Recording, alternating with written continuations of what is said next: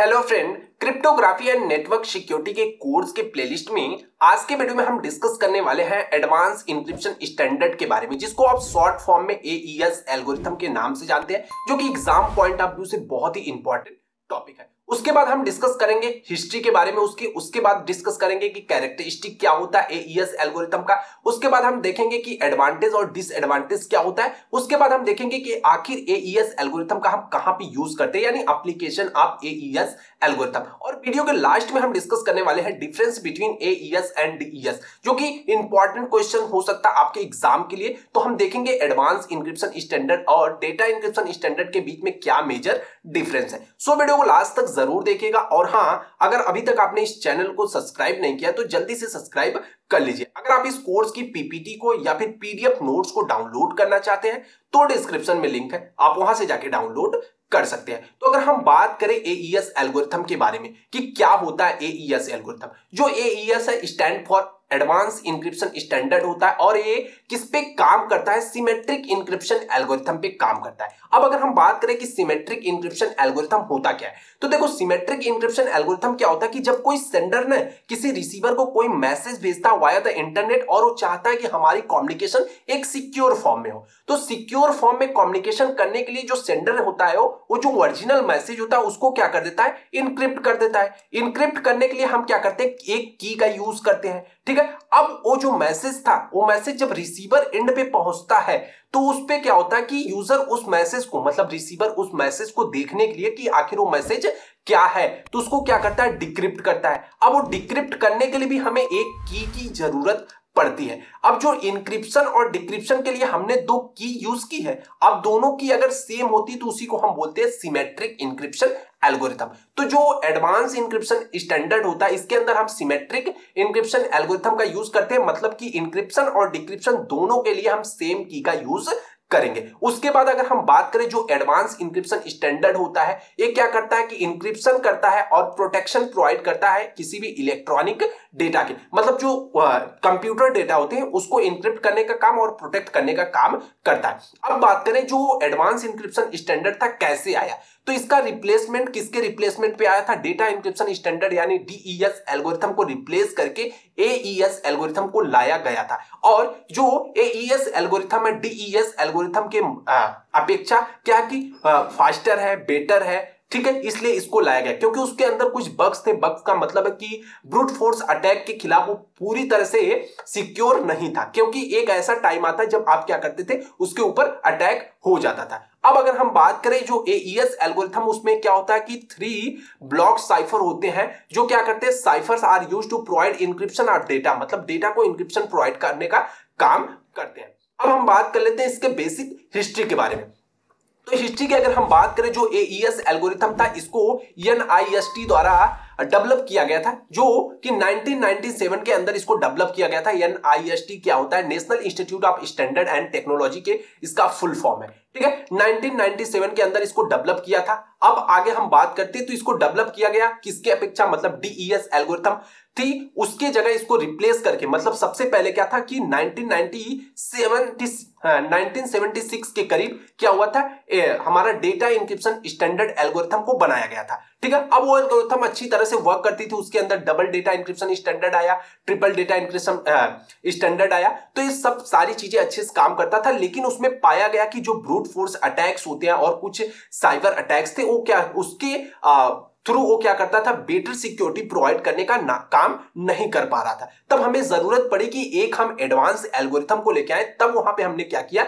AES algorithm को हमने लाया। ठीक है? वहाँ पे एईएस एल्गोरिथम आया उसके बाद ये क्या किया कि उसके अपेक्षा क्या किया? जो भी वायरियस अटैक होते थे वो ज़्यादा सिक्योर माना गया इसको। ठीक है? अब अगर हम बात करें इसको पब्लिश करने की जो डेट थी ट्वेंटी नवंबर 2001 में क्या किया गया? एईएस एल्गोरिथम को मार्केट के अंदर लेके आ गए थे हम लोग, ठीक है? उसके बाद अगर हम बात करें कि काम कैसे करता है, काम करने का इसका बेसिक सिंपल है पैरेलल वर्क करता है। मतलब वहाँ पे क्या होता था 16 राउंड होते थे, यहाँ पे यन राउंड तक हमारा इंक्रिप्शन डेटा चलता रहता है, ठीक है? अब हम बात कर लेते हैं इसके कैरेक्टरिस्टिक के बारे में। कैरेक्टरिस्टिक क्या होता है कि जो एईएस है, उसके पास जो कीज होते हैं थ्री लेंथ विच 128 और 192 और 256 बिट्स का यूज़ किया जाता है, जो की मतलब यूज़ किया जाता है मतलब इंक्रिप्शन और डिक्रिप्शन के लिए जो की का यूज़ किया जाता है 128 बिट का 192 बिट का और 256 बिट का यूज़ किया जाता है। अब इसको हमने मानते कि ये फ्लेक्सिबल होता है इंप्लीमेंटेशन के लिए मतलब सॉफ्टवेयर और हार्डवेयर दोनों के लिए इसका इंप्लीमेंटेशन बहुत ही आसान है। उसके बाद अगर हम बात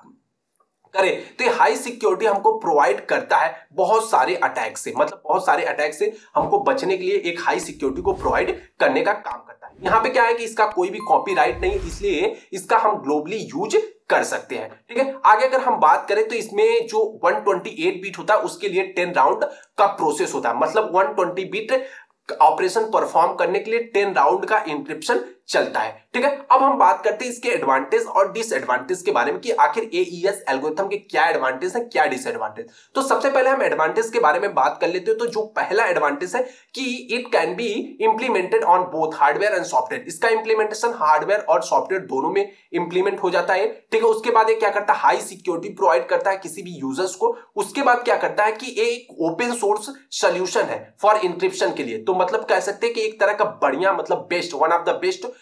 open source solution for encryption उसके बाद अगर हम बात करें तो एक तरह का रोबुस्ट एल्गोरिथम है मतलब एक बढ़िया अच्छा एल्गोरिथम है जो कि डेटा को इंक्रिप्ट करता है और बेटर सिक्योरिटी प्रोवाइड करने का काम करता है। अब बात करते हैं इसके डिसएडवांटेज की। तो डिसएडवांटेज का क्या है? सबसे पहला डिसएडवांटेज क्या है कि इसको रिक्वायरमेंट होती है मेनी राउंड्स ऑफ़ इंक्रिप्शन क्योंकि भाई, ज़्यादा सिक्योर है तो ज़्यादा राउंड्स ऑफ़ इंक्रिप्शन करता है, ज़्यादा राउंड ऑफ़ इंक्रिप्शन करता है, इसलिए इसको हम क्या मानते हैं कि ये थोड़ा सा ज़्यादा टाइम लेता है। ठीक है? उसके बाद अगर हम बात करें तो इसका इंप्लीमेंटेशन सॉफ्टवेयर इंप्लीमेंटेशन थोड़ा सा हार्ड होता है तो ये इसका डिसएडवांटेज हो सकता है, ठीक है? उसके बाद अगर हम बात करें कि it needs much much processing at the different stage क्योंकि इसमें बहुत सारे स्टेज होते हैं तो हर एक स्टेज पे क्या करता है कि ज़्यादा से ज़्यादा प्रोसेसिंग टाइम को ये लेने का काम करता है।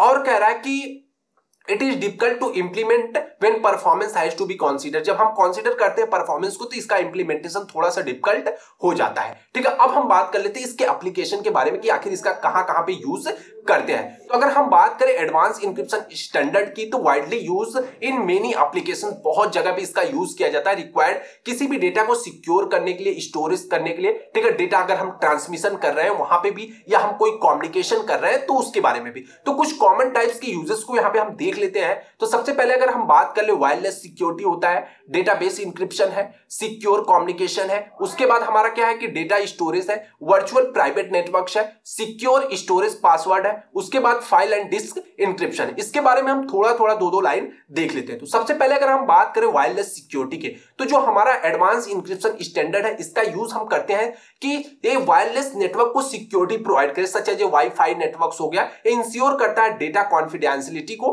और प्रिवेंट करता है अनऑथराइज एक्सेस को। मतलब अगर जो भी वाईफाई से कनेक्टेड लोग हैं। ठीक है, उनके सिस्टम से अटैक होने से मतलब उनके सिस्टम को प्रोटेक्ट करने का काम करता है कि कोई अनऑथराइज एक्सेस उस वाईफाई का एक्सेस ना करे, क्योंकि वाईफाई के थ्रू क्या होता है कि कोई भी बंदा आपके सिस्टम के अंदर एंटर कर सकता है। तो उसको ये प्रोवाइड सिक्योरिटी प्रोवाइड करने का काम करता है। उसके बाद डेटाबेस इंक्रिप्शन ठीक है? डेटाबेस इंक्रिप्शन के अंदर क्या होता है कि जो एईएस एल्गोरिथम होता है, यानी एडवांस इंक्रिप्शन स्टैंडर्ड होता है, ये अप्लाई होता है मतलब इंक्रिप्ट करता है जितने भी सेंसिटिव डेटा होते हैं, जो भी डेटाबेस के अंदर स्टोर होते हैं, ठीक है? उनको इंक्रिप्ट करता है, उसके बाद हमको प्रोवाइड करता है जो भी हमारी पर्सनल इंफॉर्मेशन है फाइनेंशियल रिकॉर्ड है, इन सारी चीज़ों को।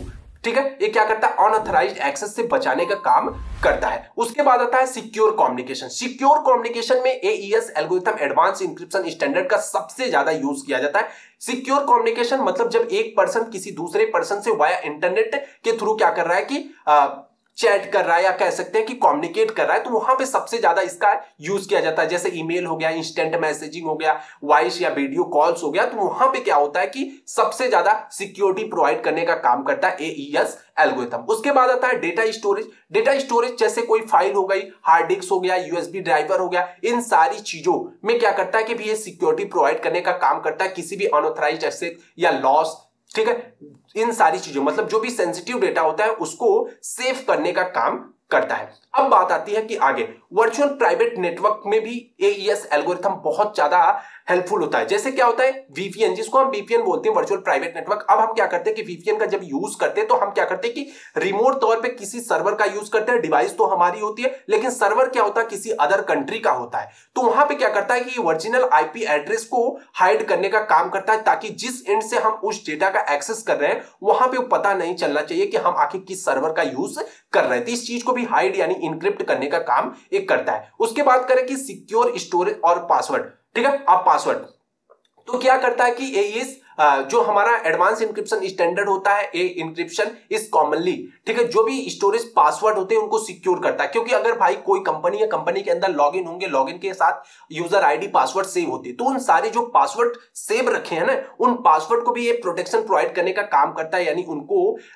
इंक्रिप्ट करके रखता है, ताकि कोई भी अनऑथराइज एक्सेस आके उसका एक्सेस न ले। ठीक है, उसके बाद फ़ाइल और डिस्क डिस्क इंक्रिप्शन हो गया तो इसके अंदर भी ये क्या करता है? जो भी फाइल्स हो गए फोल्डर्स हो गए कंप्यूटर के अंदर या एक्सटर्नल स्टोरेज डिवाइस हो गए क्लाउड स्टोरेज हो गया, हम क्लाउड के ऊपर भी डेटा रखते हैं। इन सारी सारे फ़ाइल को, यानी जितने भी सेंसिटिव डेटा होते हैं, उनको क्या करता है कि ये जब हम ट्रांसमिशन करते हैं, या कर रहा है कि during data transfer to prevent unauthorise action जब हम डेटा को ना ट्रांसफ़र करते हैं one end to another end तो वहाँ पे क्या करता है कि अनऑथराइज एक्सेस से हमको बचाने का काम करता है। तो ये था इसका एप्लीकेशन अब हम बात कर लेते हैं difference between DES and AES algorithm के बारे में। यानी data encryption standard and the advance encryption standard algorithm के बीच में क्या मेजर डिफरेंस है? तो सबसे पहले अगर हम बात करें बेसिक के बारे में तो बेसिक क्या हो गया? सबसे पहले बेसिक अगर हम बात करें डेटा इंक्रिप्शन स्टैंडर्ड के बारे में तो जो डेटा ब्लॉक्स होते हैं ना, वो स्प्लिट हो जाते हैं दो पार्ट से। मतलब यहाँ पे क्या होता है कि डेटा इंक्रिप्शन स्टैंडर्ड के अंदर जो डेटा ब्लॉक होते हैं, उसको हम दो पार्ट में डिवाइड कर सकते हैं। लेकिन यहाँ पे क्या होता है कि जो भी प्रोसेसिंग होती है ना, वो प्रोसेसिंग सिंगल मैट्रिक्स के अंदर होती है। एईएस के अंदर। मतलब यहाँ पे सिंगल मैट्रिक्स के अंदर होती है यहाँ पे क्या करते हैं, उसको दो पार्ट में डिवाइड कर देते हैं। पहला पार्ट हमारा लेफ़्ट प्लेन टेक्स होता है, दूसरा पार्ट राइट प्लेन टेक्स होता है, जिसमें हम क्या करते हैं 64 बिट को 32 32 बिट के अंदर कन्वर्ट कर देते हैं। प्रिंसिपल की अगर हम बात करें तो ये क्या करता है कि फाइस्टल साइफर स्ट्रक्चर के ऊपर काम करता है, और यहाँ पे ये क्या करता है कि जो हमारा एईएस होता है a substitution and permutation principle के ऊपर काम करने का काम करता है, ठीक है? अब अगर हम बात करें जो हमारा डीईएस है, इसको कब क्रिएट किया गया था तो इसको 1976 के अंदर क्रिएट किया गया था और हमारा एडवांस इंक्रिप्शन स्टैंडर्ड को 1990 के अंदर क्रिएट किया गया था 1999 में, ठीक है? और इसको लॉन्च कब किया गया? मार्केट के अंदर 2001 के अंदर लेके आया गया था। अब बात करें डिज़ाइन किसके द्वारा डिज़ाइन किया गया है? डेटा इंक्रिप्शन स्टैंडर्ड को तो आईबीएम द्वारा इसको डिज़ाइन किया गया है और एडवांस इंक्रिप्शन स्टैंडर्ड को किसके द्वारा डिज़ाइन किया गया तो दो साइंटिस्ट थे, पहले क्या थे? बिसेंट रिजमेन थे और दूसरे हमारे कौन थे? जोन डेमेन थे। ठीक है, इन दोनों के द्वारा क्या गया? एडवांस इंक्रिप्शन स्टैंडर्ड को डिज़ाइन किया गया। अब अगर हम बात करें जो हमारा डेटा इंक्रिप्शन स्टैंडर्ड, इसके अंदर टोटल 16 राउंड्स होते हैं और एडवांस इंक्रिप्शन स्टैंडर्ड के अंदर 10 राउंड्स होता है फॉर 128 बिट एल्गो के लिए और 12 राउंड होता है 192 बिट्स के लिए और 14 राउंड होता है 256 बिट एल्गो के लिए। ठीक है? उसके बाद हम अगर आगे बात करें तो जो स्पीड की अगर हम बात कर ले तो जो डेटा इंक्रिप्शन स्टैंडर्ड होता है, इसकी स्पीड स्लो होती है, कंपेरिजन किसके? एडवांस इंक्रिप्शन स्टैंडर्ड के। और इसकी स्पीड क्या होती है? एडवांस इंक्रिप्शन स्टैंडर्ड की, इसकी स्पीड हाई होती है, कंपेरिजन इसके, डेटा इंक्रिप्शन स्टैंडर्ड के। अब सिक्योरिटी की बात करें तो जो हमारा डेटा इंक्रिप्शन स्टैंडर्ड होता है एक क्या करता है कि स्मॉलर की का यूज़ करता है, इसलिए इसको कम सिक्योर माने जाते हैं। और यहाँ पे क्या होता है कि इसमें लार्ज सीक्रेट की का यूज़ किया जाता है, इसीलिए मोर सिक्योर होता है। मोर सिक्योर क्यों होता है? क्योंकि इसमें नंबर ऑफ़ इंक्रिप्शन के राउंड जो होते हैं, वो ज़्यादा चलते हैं और यहाँ पे कम होते हैं, इसीलिए इसको कम सिक्योर माना जाता है। की की साइज़ की अगर हम बात करें तो जो एईएस है, इसके कंपेयर में अगर हम बात करें तो जो डीईएस की साइज़ है, वो लोअर होती है और यहाँ पे उसकी साइज़ क्या होती है? की की लार्जर देन होती है इसकी अपेक्षा। ठीक है? प्लेन टेक्स्ट की बात करें तो डेटा इंक्रिप्शन स्टैंडर्ड के अंदर प्लेन टेक्स्ट क्या होता है? 64 बिट का होता है। लेकिन यहाँ पे plain text 128 bit